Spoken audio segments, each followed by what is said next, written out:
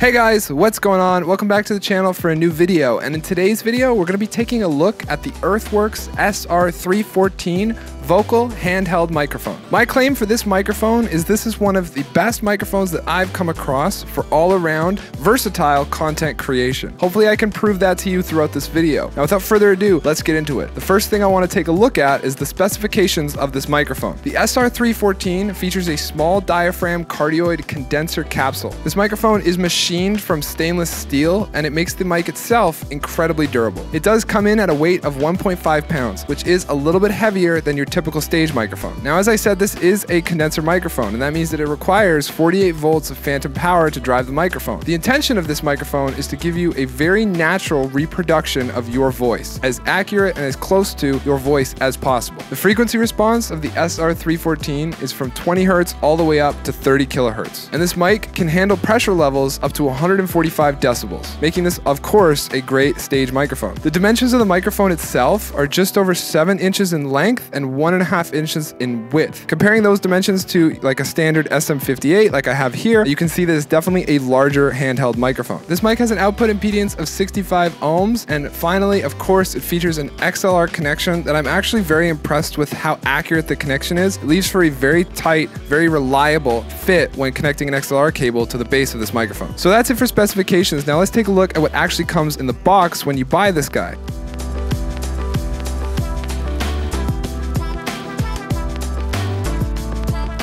Of course, the first thing you're going to find in the box is the mic itself, and then already attached, you will find this very sleek looking pop filter that is covering the capsule. We're going to talk in a moment a little bit more about that pop filter and some of the features that it includes in its own design. Outside of that, in the box, you will find a Earthworks branded sleeve that the microphone perfectly fits into. The sleeve is padded, but you don't really need a ton of padding just because of how durable the mic is itself. Like I mentioned earlier, it is stainless steel, like it feels pretty heavy and it feels very durable in your hand because it's made out of that stainless steel. And last thing in the box is just the mic clip that is attaching this SR314 to the boom stand that I have in this setup currently. If you try to use more of a standard Shure mic clip that works better with, you know, your SM57, your SM58, you're going to find that it will attach on the microphone at the back of the mic like that, but it sits fairly high in the clip. And if I try and slide this down, it will pop out. So best just to stick with the Earthworks clip that comes in the box when using this guy on a boom stand or on a straight stand or on stage or wherever the application is that you're going to be using it. So next we're going to talk about design. And the first thing that I want to bring up is just like comparing these two microphones. This is the Shure Beta 58A and this is the Earthworks SR314. Of course, what we're talking about in this video. This is a standard look, right? We've seen this mic microphone everywhere forever, the snowball looking microphone that is on most stages across the world at this point. Just looking at the SR314, it has just more of a sleek, modern, newer look to it. Of course, it is a much newer microphone in comparison to the Shure microphone. I just really like the way it stands out. When I saw this microphone for the first time, it popped at me like, wow, what is that? What do I use that for? What's going on here? Clearly, there's a lot to this that I wanted to sort of uncover right away in the microphone. Looking at the grill specifically, this grill was designed by Earthworks with the intention of reducing the amount of foam in the grill, but still providing pop protection. The potential disadvantage and the reason why Earthworks tried to avoid using a lot of foam in their grill is because foam itself can actually filter out high frequencies. And then once you lose the high frequencies, you have to do something later on to get those back. As well as something that Earthworks was trying to achieve with the grill and the design for the 314 was to avoid any unwanted reflections in the capsule. Reflections caused by the grill that happen in some standard stage microphones actually cause what's known as comb filtering. Comb filtering happens when you add a delayed version of a signal back into itself, and this results in destructive interference in the signal. So now that I've taken you through the specifications, we talked about what was in the box, and we went over some of the design principles that was put into the SR314. Next thing I want to take you through is the actual function of this microphone. This mic, as I mentioned at the beginning, originally was designed as a live vocal mic. It works great in live settings because of its tight cardioid polar pattern, with frequency response to 90 degrees off axis. Now, what this means in the way of actually using the microphone essentially means that I'm gonna speak directly into the top of the microphone, and then we're going to turn the microphone, and as I'm turning the microphone, you can hear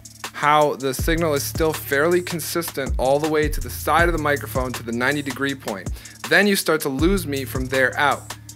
Now I'm talking at the back of the microphone, and I'm not even sure if you're picking this up. Uh, the idea is that anything directly behind So the idea there is that anything directly behind the microphone, like when I put my voice, the vocal source behind the microphone, is getting cut out. This means that if you have like a wedge monitor in front of you and you're on stage, you aren't going to get a lot of that monitor back into your microphone, which is going to mean you can increase the gain on this microphone without feedback. Here's a clip from NAMM 2019 over on Music Tech. It's another YouTuber. I'll include his channel link and his information in the description below. Here's a quick clip of him interviewing Scott from Earthworks, where he actually demonstrates what I would just talked about. So check this out real quick. I've got this same microphone plugged into this wedge, and it's actually quite loud. Now it has so much rear rejection that I can just take this microphone and go like this, and we get no feedback.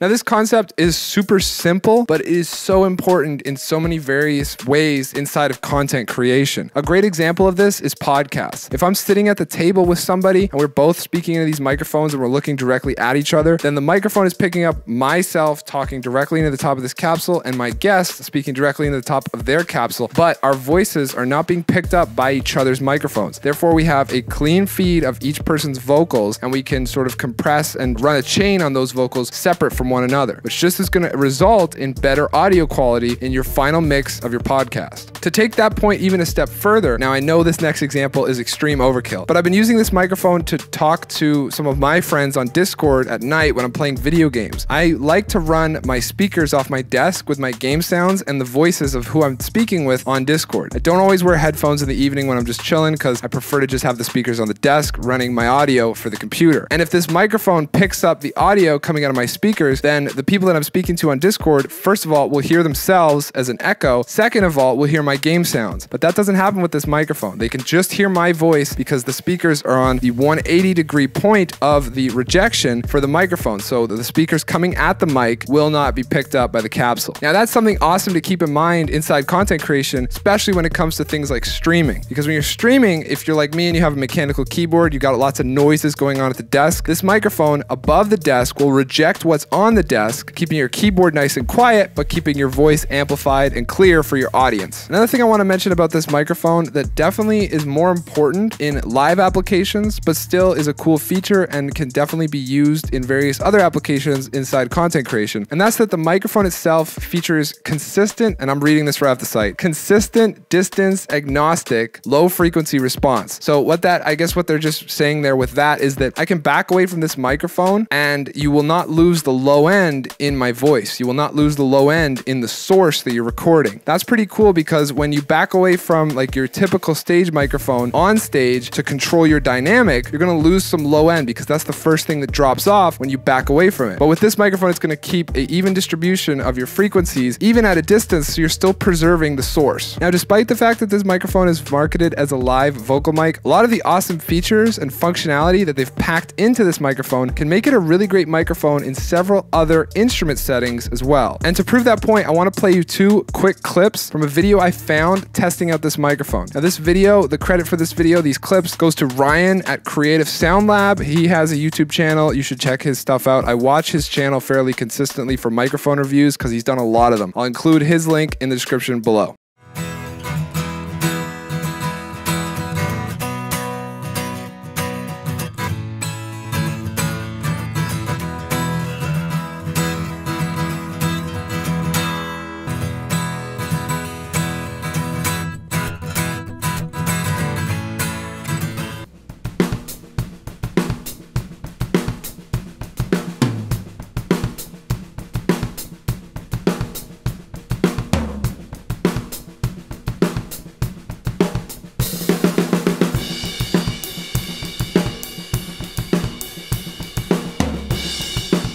So the two clips that I played for you, the first one was an acoustic guitar being recorded by this microphone, and I think it sounds pretty fantastic. You could see there on screen that he included the fact that there is nothing on that chain at the time, and then he turns the compressor on, turns it off. And the other example that I thought was really, really cool was he actually used it as a direct center overhead, single mic center overhead for recording a drum set. If you've got some ideas and you want to put this guy directly above your kit, it will preserve the low end in your kit as we talked about earlier, despite the distance, but then you're going to get a fairly fairly decent mix out of your kit that you can sort of record for either like an IG, quick IG video. Maybe you're making a quick TikTok. Maybe you're in a band and you've got to do some pre-pro and you have some ideas and you want to record them quickly. This microphone will work in all of those scenarios at the drum set, at the acoustic guitar. And then in his video, he goes on to actually show it as a closed mic on a snare drum. He uses it as a microphone for a guitar amplifier. So as you can see, because of the features that they packed into this thing, there's so much versatility that you can get in the studio and in the content creation that you're working on at home. In closing up this video, I just want to mention too my own personal opinion about the microphone outside of all that I've sort of presented to you. I switched over this microphone for Lindsey and I's reaction videos on the channel very recently. We've only dropped one video so far where we're actually using these microphones, but I have some edited. And what I found when editing videos using this microphone compared to our old setup where we were using SM57s, I know really not the best microphones for how we were using them, but but um but using this microphone in comparison to those, it's just such a step above. The amount of editing that I'm having to do on my voice in post